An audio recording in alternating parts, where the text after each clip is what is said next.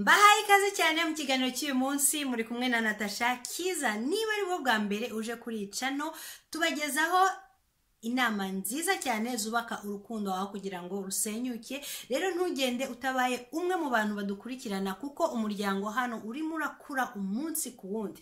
Ndabashimiye cyane rero kuba mureba ibiganiro mbagezaho kandi mbasaba yuko mumfasha mukasharinga videwo zanjye kuri social media zanyu ndetse kuri whatsapp kuri facebook kuri instagram ahantu hose bishoboka.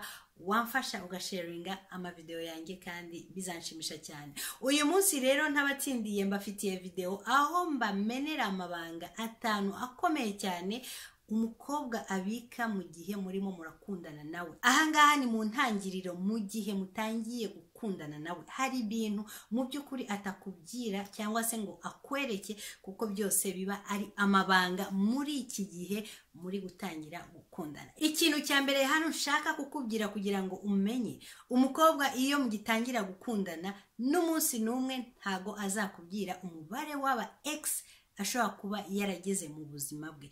Iri ni ikosa rikomeye cyane umukobwa kwifungura ngo akubwire ati nakundanye na runaka nakundanye na runaka nakundanye n'umubare ungana gutya. Akenshi baragerageza iyo batangiye no kwifungura ngo bakubwize ukuri baragerageza bakawushyira ku mubare mutoya cyane kugira ngo ugire icyizere ndetse uvuga uti uyu muntu ntabwo amenyereye ubu buzima bwo gukundana uyu ni umukobwa muzima.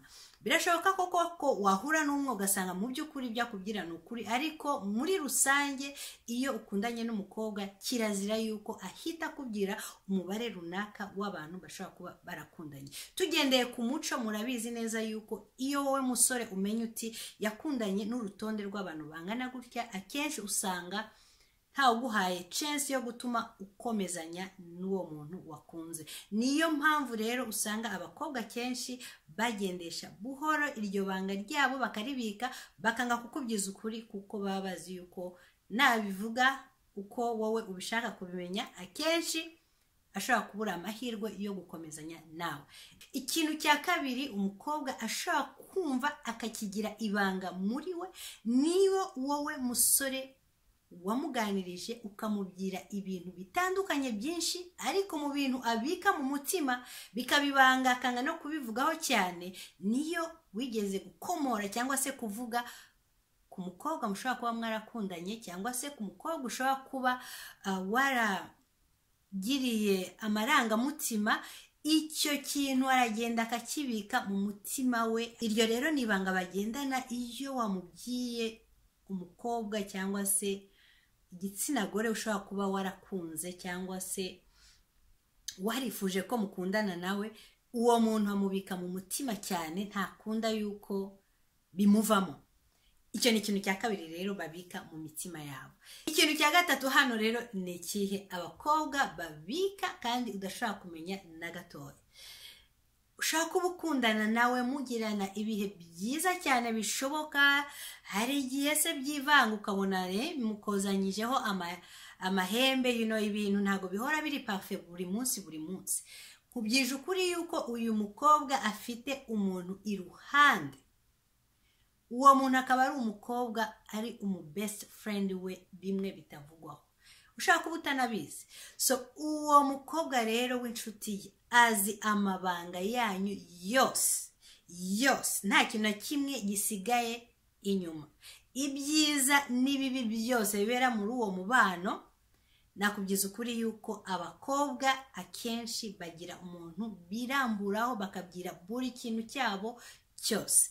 Iyo rero ni ibanga utaruzi. Ikintu cya kane ahangaha umukobwa abikamo ibanga kandi ntubimenye ni ikihe iyo wowe musore uri gukundana n'umukobwa muramenyanye hashize icyumweru hashize amezi runaka.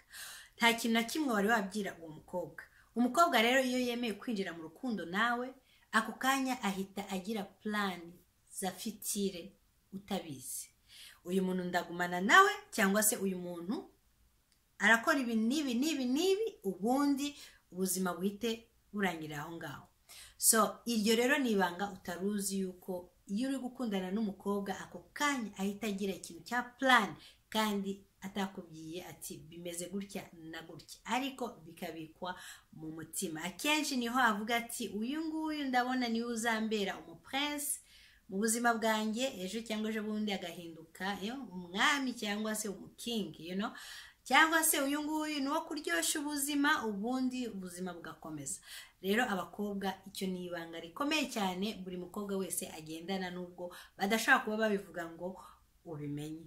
Ikindi kintu cya nyuma hano cya gatanu gikomeye kandi utaruzi. Umukobwa mukundana nawe aragukurikirana cyane aba ashaka kugira ngo amenye detaye umunsi ku wundi aha rero ni iki wavuga uti agukurikirana gute? Social media zawe ukoresha. Nakubwiza ukuri yuko yinjiramo akamenya ati ninde warayikinze ifoto yawe? Ninde washyizeho umutima? Bimeze gute? Bimeze gute? Bimeze gute? Ninde wagiye kuri instagram akakwandikira niba yagize chance akamenya mode passe y'ibintu byawe. Umukobwa azakora investigation imwe idasanzwe.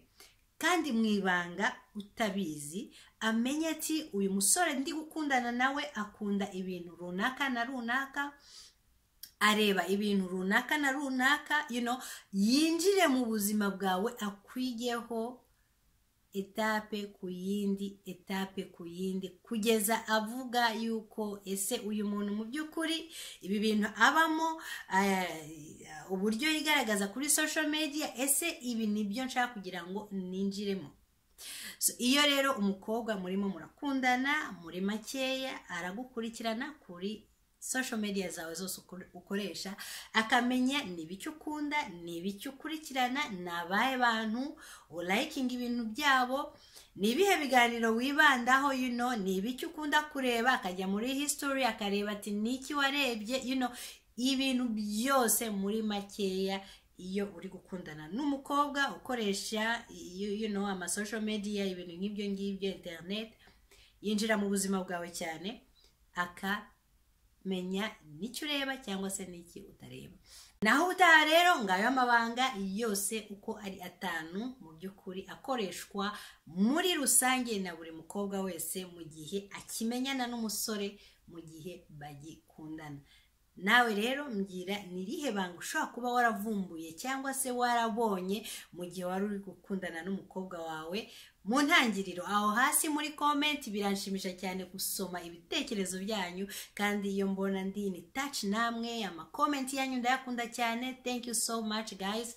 Iyo mbona muri guparitisipa muri videwo biranezeza cyane. Aho utaha rero imana ibarinde aho muri hose. Ciao bye bye